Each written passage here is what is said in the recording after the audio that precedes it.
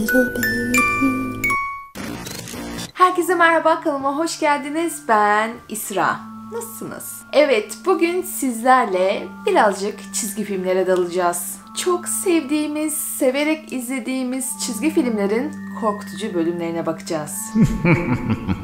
Gerçekten bir çizgi film için oldukça korkutucu hikayeleri var ve bir o kadar da korkutucu sahneler var. Ancak bu ürkütücü bölümlere geçmeden önce ne yapıyoruz? Kanalıma abone oluyoruz. Kanalıma abone olduğunuzda beni aşırı derecede çok fazla mutlu ediyorsunuz. O yüzden lütfen kanalıma abone olup beni desteklemeyi unutmayın. Eğer kanalıma abone olduysak, bir de beni diğer sosyal medya hesaplarımdan takip ettiyseniz ve tabii ki de hazırsanız başlayalım.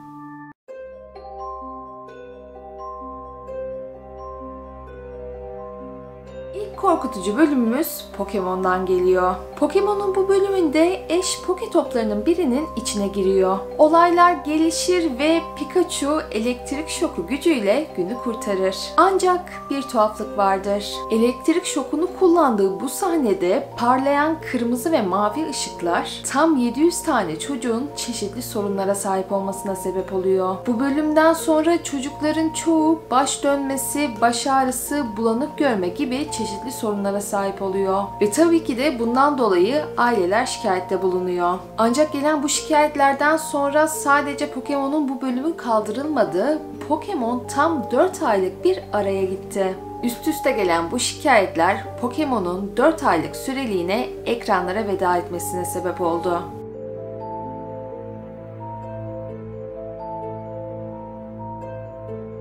Sırada Looney Tunes var. Siz izliyor muydunuz ya da izliyor musunuz hala bilmiyorum ama Looney Tunes benim gerçekten çok sevdiğim çizgi filmlerden biri. Looney Tunes ilk olarak 60'lı yıllarda başlıyor ve 2000'li yıllara kadar da gösterilmeye devam ediyor. Looney Tunes'un bir bölümünde Hyde and Joe Hide and Tweet olması lazım emin değilim. Buraya zaten orijinalini bulup yazacağım. Bu bölümle ilgili ebeveynler çok fazla sayıda şikayette bulundu. Çünkü söylediklerine göre bu bölüm çocuklarını çok fazla korkutuyordu. Bu bölüm bir korku klasiği olan Dr. Jekyll ve Mr. Hyde'ın bir uyarlamasıydı. Gerçekten uyarlamak için güzel bir hikaye seçmişler. Bu bölüm Sylvester'ın Tweety kovalamasıyla başlıyor. Şaşırdık mı? Hayır. Tweety Sylvester'dan kaçarken bir laboratuvara gider ve doktorun formülünün olduğu şişenin içine zıplar. Ve şişenin içindeki bu sıvı Tweety'yi korkunç bir canavara dönüştürür. Ve Tweety'nin bu korkunç görüntüsü de çocukları korkutmaya yetmiştir. Bölüm boyunca Tweety bir normal kendi masum haline bürünüyor, bir de bir anda apansızın canavar haline bürünüyor. Bu da çocukların korkmasına sebep oluyor.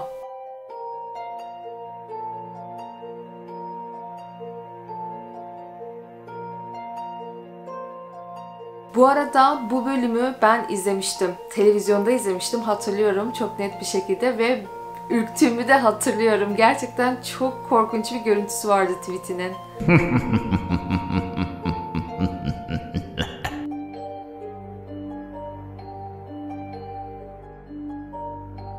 Sıradaki benim yine çok sevdiğim çizgi filmlerden biri.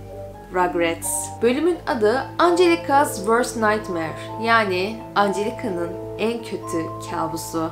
Rugrats'i izlediniz mi bilmiyorum ama Angelica karakteri tek çocuk ve oldukça şımarık bir karakter. Bu bölümde ise Angelica'nın ailesi bir bebekleri olacağını söylüyor. Angelica ise bu habere çok da sevinmiyor çünkü çocuk doğduğunda artık ilginin sadece onun üzerinde olmayacağını biliyor. Ve daha çocuk doğmadan bu süreçte, bu hamilelik sürecinde Angelica ile daha az ilgilenmeye başlıyorlar. Ve Angelica da ailesinin artık onunla ilgilenmeyeceği konusunda korkmaya başlıyor. Bu yüzden annesine gidiyor ve bebeği yapmamasını söylüyor.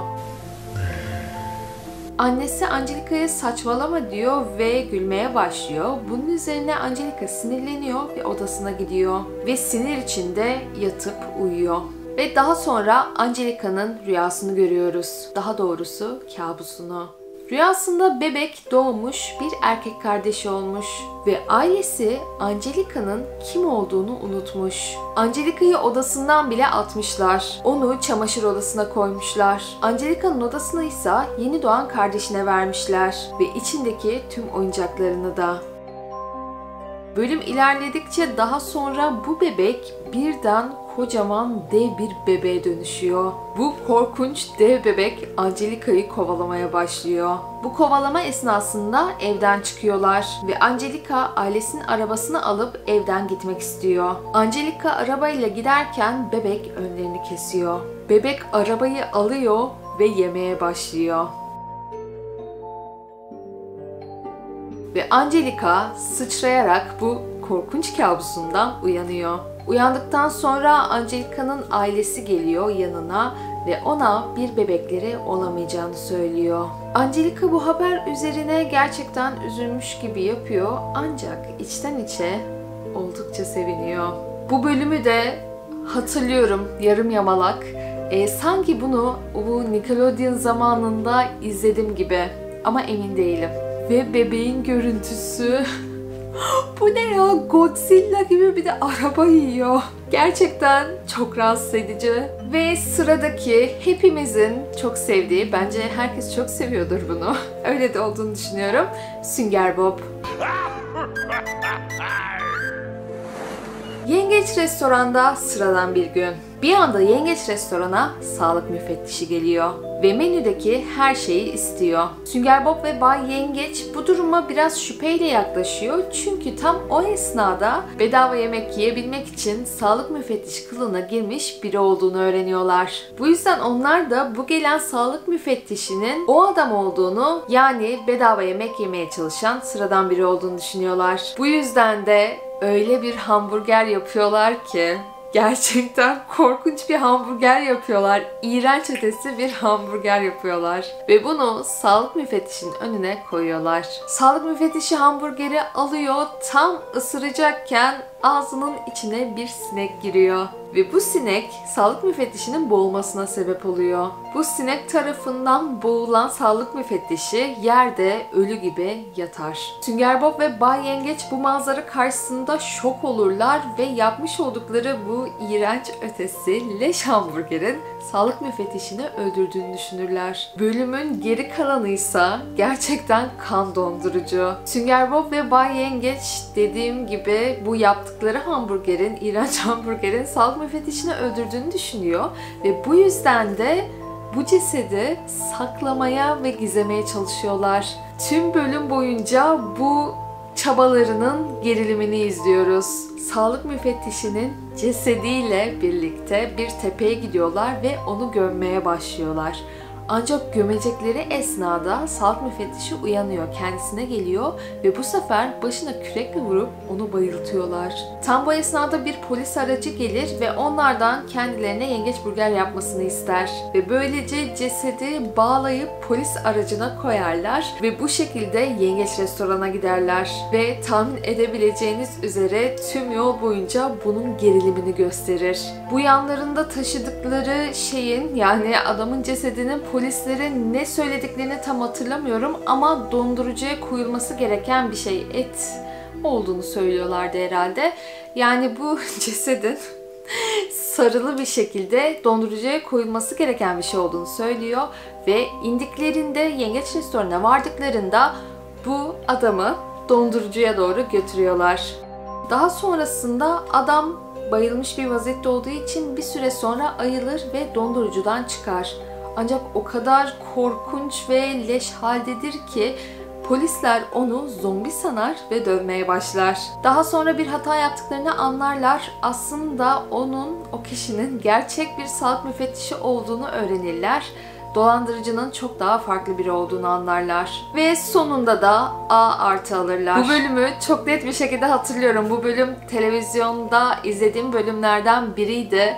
Ve gerçekten çok eğlenmiştim bu bölümde. Bu bölümde gerçekten çok güldüğümü ve bildiğiniz gerildiğimi hatırlıyorum.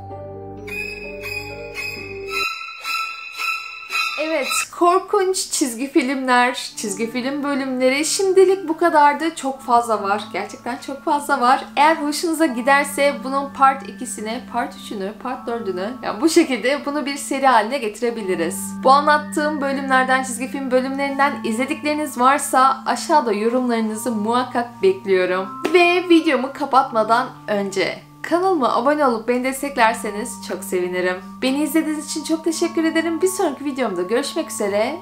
Hoşçakalın.